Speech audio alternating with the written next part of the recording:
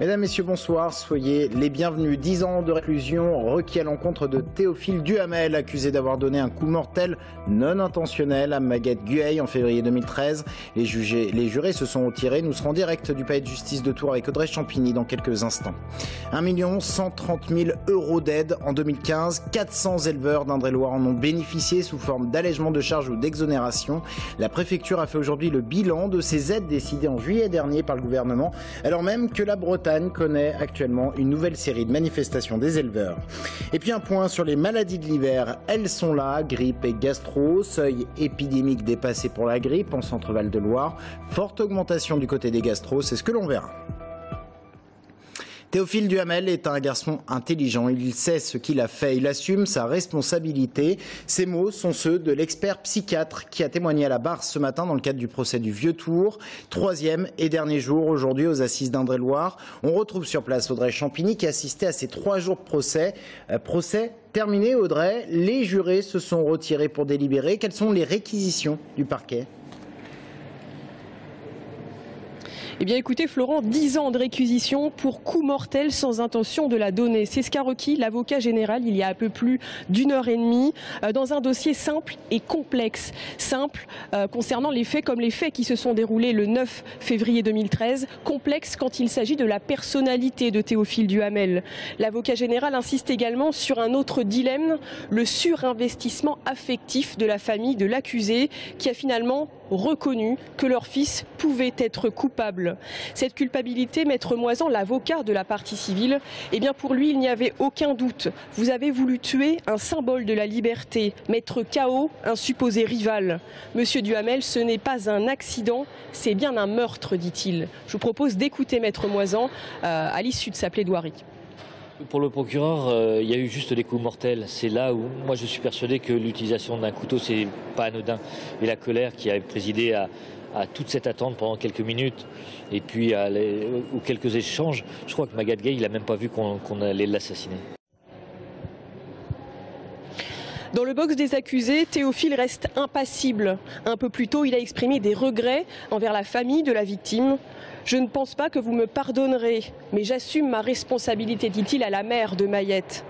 Ensuite vient le tour de la défense et Éric Dupont-Moretti choisit de se mettre à la place de son client, d'utiliser le jeu de la première personne. J'ai tué un mec que je connais à peine pour une histoire de merde, dit-il. Il insiste ensuite sur le climat familial, ou plutôt le carcan familial dans lequel vit Théophile.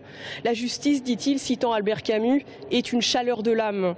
Au 10 ans requis, il propose du sursis avec mise à l'épreuve pour que son client puisse assumer son geste, se reconstruise. Je vous propose d'écouter l'avocat de la défense à l'issue de sa plaidoirie. Il est parvenu euh, au forceps, c'est vrai, mais en faisant beaucoup, beaucoup d'efforts à enfin dire les choses. Et, naturellement, j'ai demandé aux jurés de se souvenir que c'est un gamin de 20 ans parce que c'est un gamin de 20 ans, avec des réflexes de gamin de 20 ans. À l'heure où je vous parle, le jury est encore en train de délibérer. La salle n'a pas encore été ouverte. Un jury qui devra répondre à plusieurs questions. Ce coup était-il volontaire? Était-il mortel? Et Théophile Duhamel avait-il véritablement l'intention de donner la mort à Maguette Gueil? Audrey Champigny avec euh, Romain Delville. Merci beaucoup pour ce duplex. En bref, dans le Loir-et-Cher, un homme d'une quarantaine d'années a menacé de mettre fin à ses jours en faisant exploser son domicile à l'aide d'une bonbonne de gaz. Les faits se sont déroulés à l'aube, à mer sur la route nationale. Un important dispositif a été mis en place par les gendarmes et les pompiers. L'homme, après négociation, a accepté de sortir de son domicile, mais il a pris la fuite. Il est recherché. La crise du côté des éleveurs, alors que la Bretagne connaît une nouvelle série de manifestations, la préfecture d'Indre-et-Loire, elle communique sur l'accompagnement de ces éleveurs. Elle a fait le bilan des aides octroyées en juillet dernier par le gouvernement, des aides sous forme d'exonération de charges principalement. Elles ont atteint en Indre-et-Loire plus d'un million d'euros. Le détail, Romain Delville. 1 135 000 euros d'aide, 400 éleveurs concernés sur les 1600 que compte l'Indre-et-Loire. Louis Lefranc a détaillé ce matin le plan de soutien à l'élevage dans le département. 344 reports d'échéance fiscale, la MSA qui pratique des exonérations de charges pour 206 chefs d'exploitation, ça c'est pour 2015. On est dans un contexte de, de dispositif, dire, de mise en place de mesures d'urgence pour les agriculteurs dont on a identifié que voilà, ils avaient de grosses difficultés de trésorerie. Donc ça suppose aussi de leur part, et je m'adresse à tous les éleveurs de ce département, parce que c'est pas un élan naturel de dire qu'on est en difficulté mais de ne pas tarder à le dire quand, quand vraiment on l'est. Chez cet éleveur de porc à Draché, on compte 370 truies, 217 hectares pour nourrir les bêtes. Ils sont quatre associés à faire naître les porcs solés, puis les engraisser. Le prix de revient est l'un des éléments clés de l'élevage. Pour un porc, l'alimentation, environ 250 kg par tête, représente 65% du prix de revient. Et bien sûr, il y a le prix de vente. Il était aujourd'hui de 1,098 centimes le kilo. C'est nous qui faisons naître, qui, les élevons, qui leur donnons à manger. Et euh, derrière, euh, ça veut dire qu'on va les garder à peu près 6 euh, mois, les animaux. Et derrière, en 15 jours, en une semaine, ils vont arriver dans les étals et puis ils vont avoir multiplié le prix par 10. Alors à un moment, il faut aussi se poser la question où vont les marges? C'est que la libéralisation du monde agricole lui nuit. Même si, contrairement à la Bretagne, ici, les éleveurs cultivent aussi des céréales pour gagner en autosuffisance. C'est clairement au niveau européen que ça doit se régler. C'est euh, de la régularisation de marché, parce que de toute façon, on est dans un marché où euh, l'offre et la demande, c'est quand même ça qui conduit le, prix. Et il suffit qu'il y ait aujourd'hui en lait, c'est 1% ou 2% d'offres en plus que la demande, et ça fait chuter le prix du, du lait de 30%. 2015 n'a pas été facile, a rappelé le préfet. 2016 sera difficile pour l'agriculture. Si bien qu'un accord avec les opérateurs bancaires, une année blanche, a été proposé aux éleveurs en difficulté. Une cinquantaine de dossiers ont déjà été déposés. On en vient au rapport annuel de l'abbé Pierre sur le mal logement. Tableau sombre dressé par ce rapport, près de 4 millions de Français seraient mal logés. Et la situation en Indre-et-Loire, qu'en est-il? Eh bien 7000 logements seraient potentiellement indignes selon la Fondation, avec une situation meilleure à Tours que dans le rural, mais en agglomération, le prix de ces logements éloignerait les pauvres, euh, éloignerait les ménages les plus pauvres. Pardon. Anaïs Michaud. C'est dans ce logement social de Maîtré que Nathalie vit depuis six ans avec son mari et ses deux enfants. Une maison très humide qui est vite devenue un enfer.